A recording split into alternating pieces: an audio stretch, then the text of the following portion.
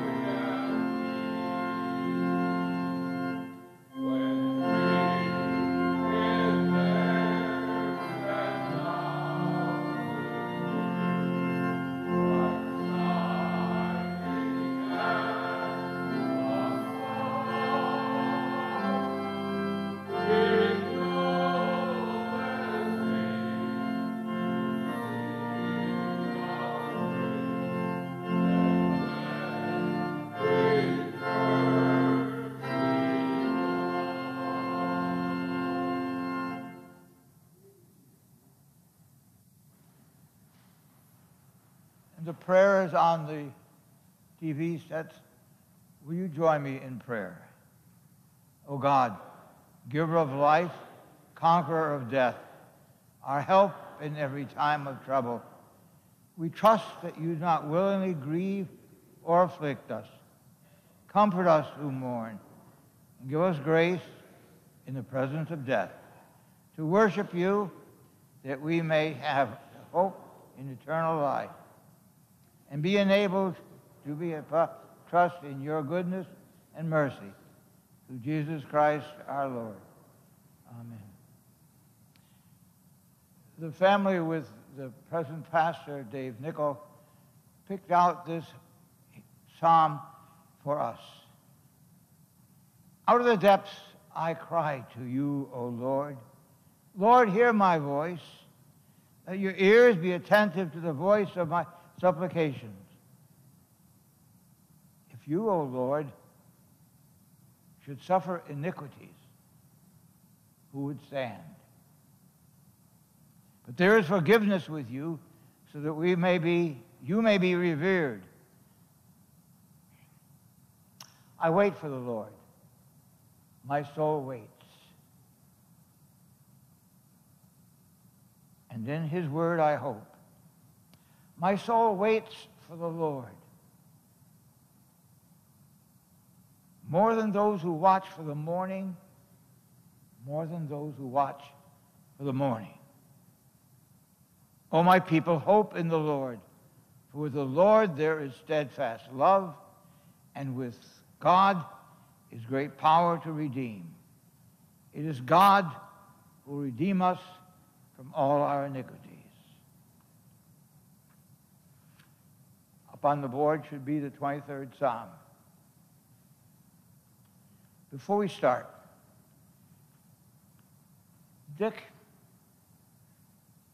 Dick was a very down-to-earth guy, wasn't he? This psalm is beautiful, but is really down to earth.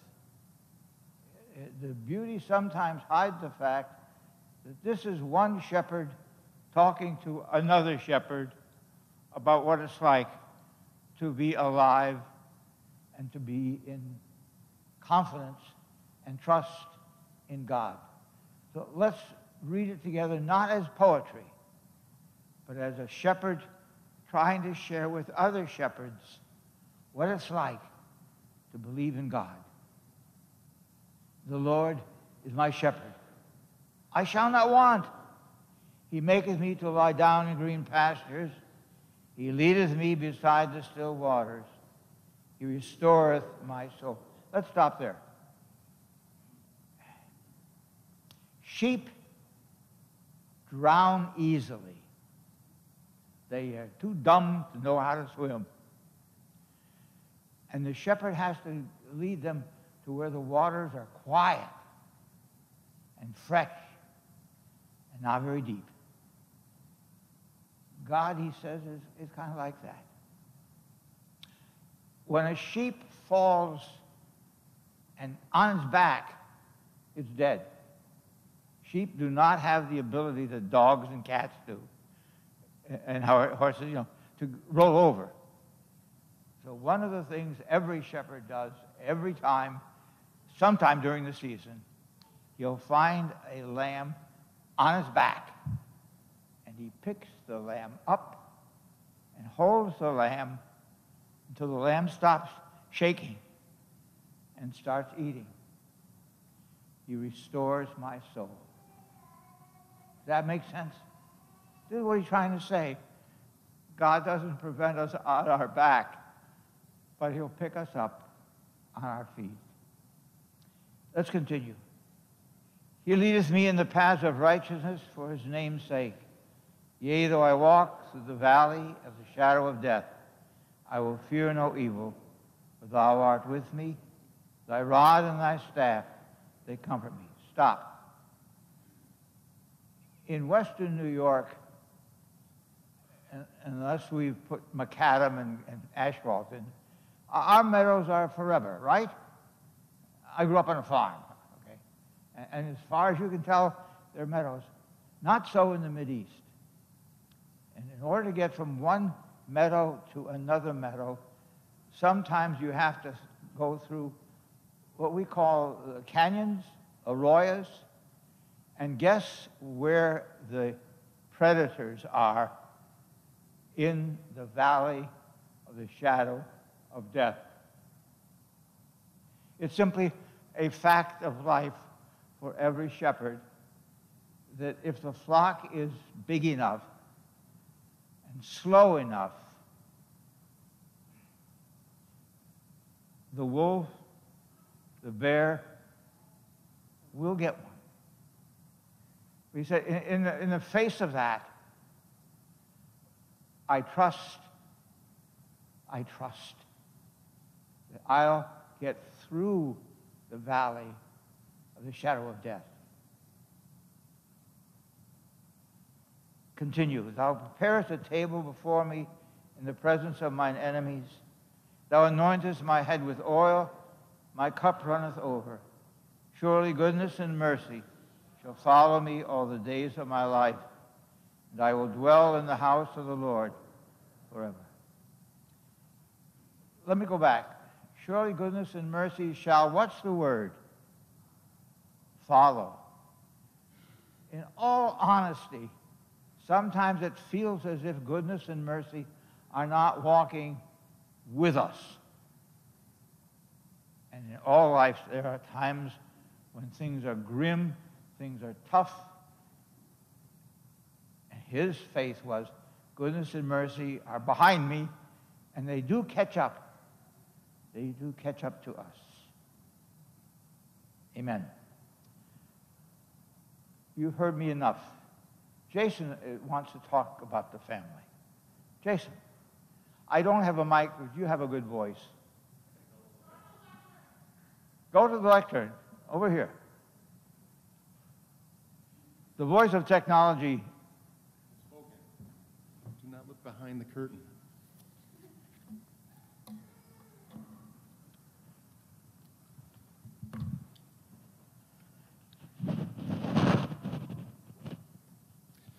I would like to thank you all for coming today to honor such an extraordinary man, son, brother, husband, father, grandfather, and friend. Dick Allen Bish, born at home on September 17, 1934, in Porter, Pennsylvania, a true country boy in every sense of the word. He was the second oldest of seven to Earl and Katherine Bish. He spent his childhood playing with his brothers and sister. Yeah, you heard me right, sister. Only one girl, and all those boys, poor thing. He spoke fondly of his childhood through his life as he sat with every new generation that joined the supper table. Dick was a simple man, a few words filled with jokes, and he enjoyed life with the ability to roll with both the good and the bad. He was someone you could always count on, and he was always there, just a phone call away. In his early days, he would walk to school, a one room schoolhouse. He could still recite his first grade vocabulary list Polly, Parrot, Cracker, and so on. It was such a small class that he was the only eighth grader. This one room schoolhouse is where he met a redheaded farm girl by the name of Patty Lee Kennedy when he was just in the third grade, and whom he would later marry at the tender age of 19. As kids, he and his brothers would jump out the back of the bus. His Uncle Jeff, Uncle Jeff was the bus driver and skip school to play in the woods, or they would ride two scooters at a time down those country roads, one foot on each scooter, those Bish boys. His family didn't have a lot of money, but they were happy with their mustard and onion sandwiches, and he'd still make one for himself from time to time. His mom was an excellent baker and would make the best homemade bread. And Dick also enjoyed sandwiches, jam sandwiches. He'd say, How do you make a jam sandwich? Well, you take two slices of bread, and you jam them together.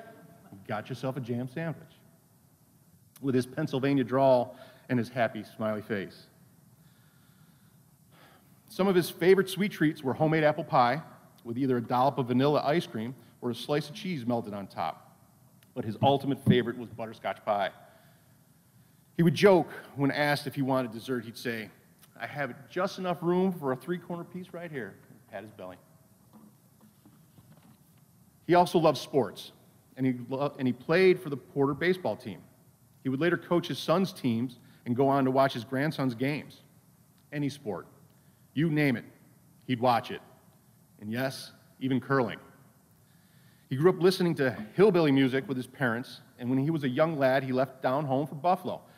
He would play records with those country sounds blaring in his apartment, and he and his brother would fall asleep, much to the disapproval of his downstairs neighbor, who would come upstairs yelling, If I have to hear that dang hillbilly music one more time, and he continued to listen to hillbilly music on his radio in his sun porch as a great great grandfather.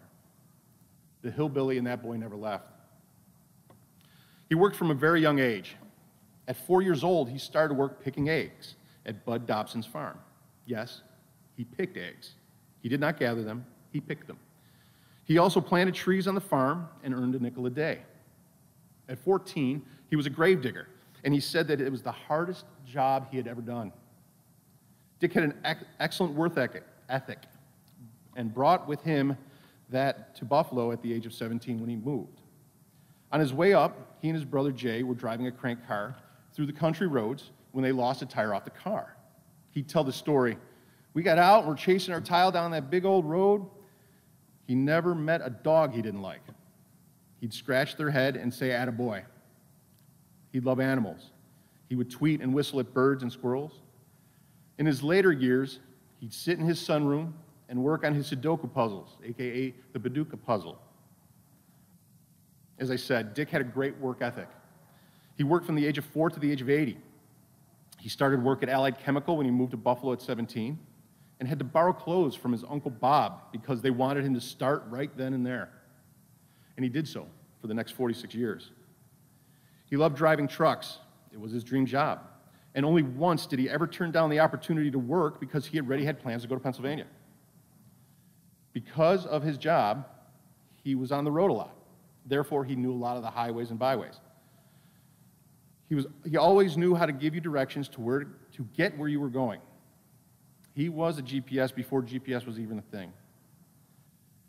If he wasn't working for Allied Chemical, cleaning the bank, driving for consumer beverages, or unloading trucks at Century 21, or PVS, or later Penske, he was spending time with his family. He was a family man. By 19, he married Patty and brought her to Buffalo, and they started a family.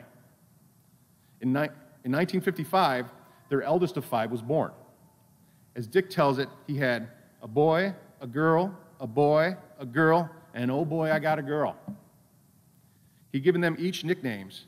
There was Dar- Daryl, Flip Majive, Cindy was Fifi, Dennis, Giffer, Cheri Pumpkin, Connie Jo, Joe. They lived in a house in Hamburg, New York, and he never let his children go without. He worked hard for his family. He supported them in more ways than one. He went to baseball, football, cheerleading, wrestling, and band practices. You name it, he was there for his kids and his grandkids. He loved to travel, and every year would go on camp, go camping with his family, and took road trips all over the U.S. He was always up for anything, anything to be with his family. He even put his pinky up at tea parties with his daughters. Now, a topic dear to his heart hunting. Dear to his heart. Well, that's Bish humor, folks, and, and these are the jokes. Dick was an avid huntsman and fisherman. Camouflage and flannel were his wardrobe, unless it was Sunday. Then he was in his Sunday best and at church, also an important part of their family. Every year during the first week of deer season, he'd go to, down to Pennsylvania and go out in the woods looking for dinner with his brothers and sons, and eventually grandsons. And in the springtime, he would look forward to his yearly fishing trip to Ole Bull. When his wife Patty passed away in 2004, his whole world changed. But he continued to spend time with his family, visiting all his family. He made his way around to his siblings, his in laws, his children, and his, grand- and his grandchildren as well as working part time, still driving truck.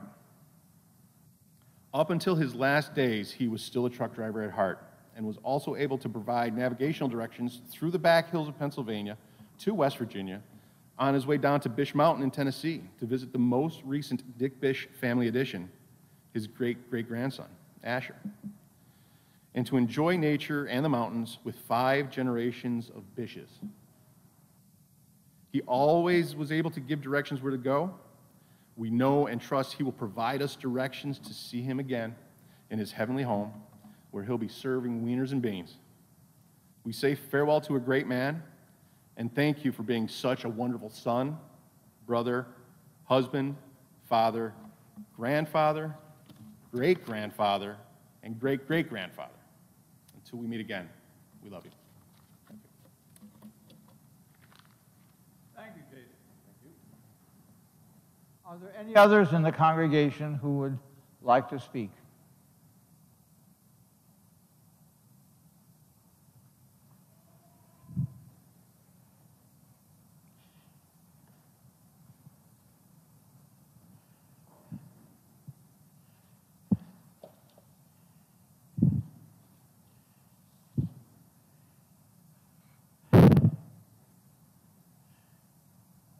it's hard to pick a scripture that speaks to our condition. The closest I, have come is part of the Gospel of John, part of the 14th chapter. Jesus, he knows he's about to die. That, that's, you can't come into Jerusalem with your enemies the priests, the Pharisees, the Romans, and get away. He knows that. He's got to stay. So he's trying to help his disciples and us as we listen in to understand something of what death is. Listen to his words. Do not let your heart be troubled. You believe in God. Believe also in me.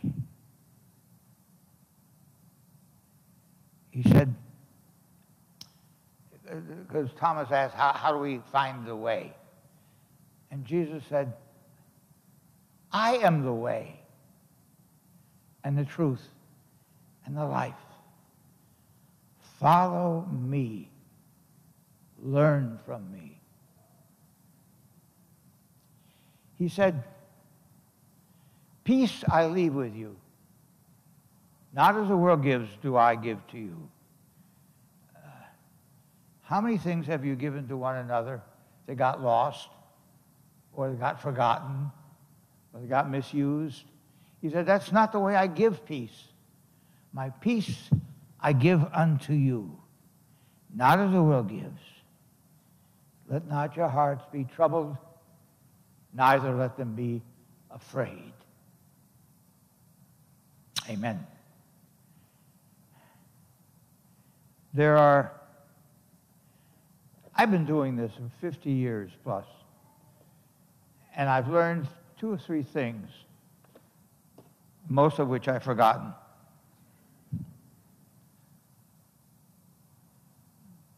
But there are some things that are eternal about a service like this. Four of them. The first, we've come believing in God who loves us, who cares for us, who is always with us, meaning we are also with God. That's the first. We don't understand God. I don't, do you? when I look up at the skies and see galaxies and galaxies and galaxies, and God created all that and cared for me, I, I don't understand it. I believe it. I believe it about you as well.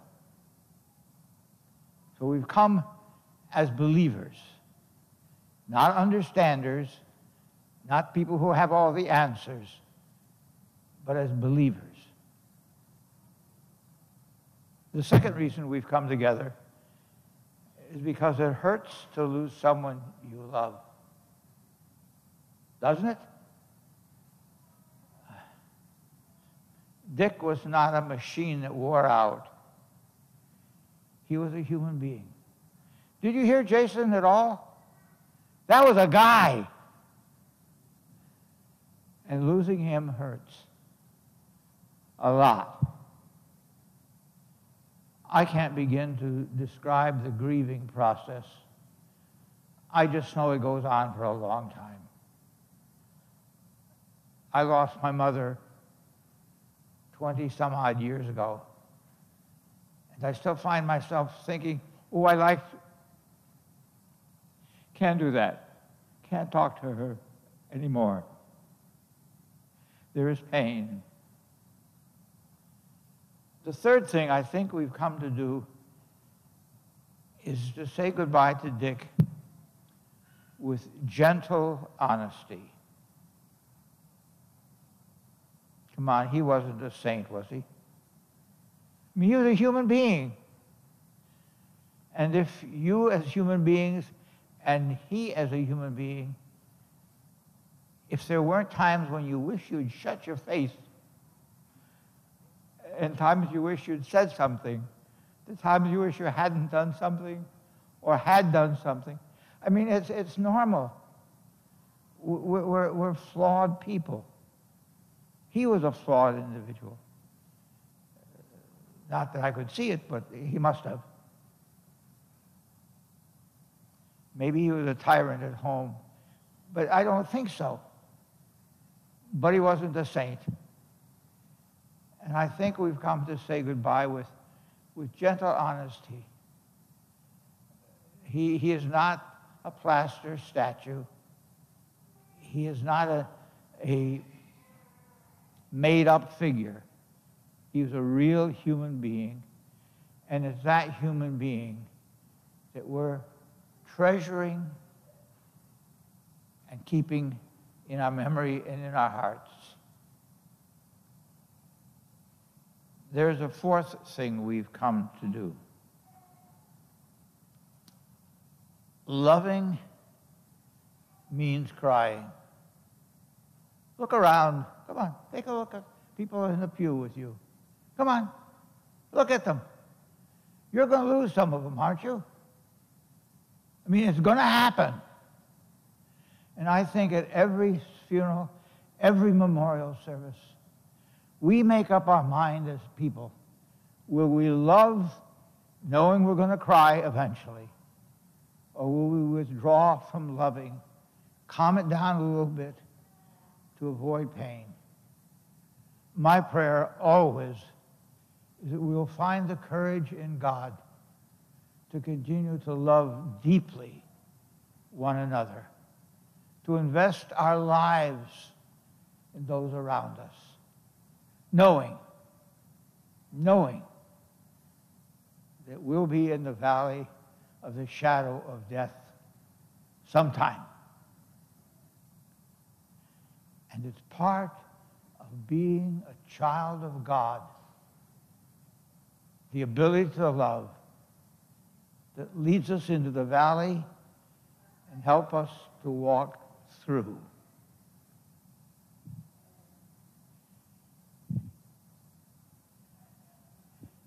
You know, we could go on forever about Dick. He liked the fact I had short sermons. We did. he told me once, Vic, you say is the most in the least amount of time that I've heard. so let's stop. There's a prayer of thanksgiving I'd like to give, and then we'll have the Lord's Prayer, and then John will sing once more. Nope, we are going to sing first, How Great Thou Art. I, I grew up with a bulletin. Did you go to church with bulletins? You could look at the bulletin and know what's happening. I have to watch up there to see what's happening. So we'll sing How Great Thou Art. And again, if you can, will you stand in body and spirit?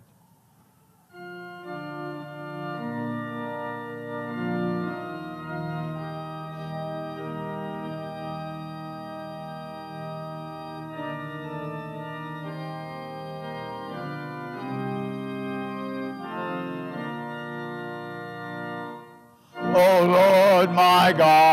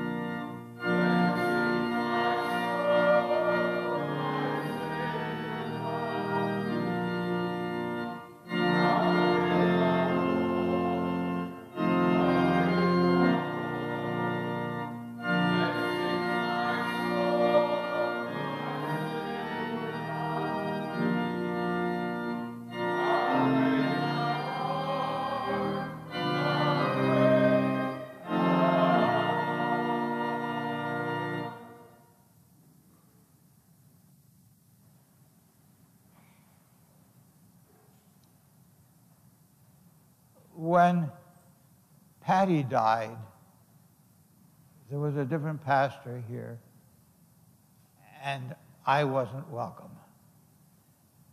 And I give thanks to David Nickel and his maturity that he's allowed me to do the service for Dick. It is very, very meaningful for me. Will you pray with me?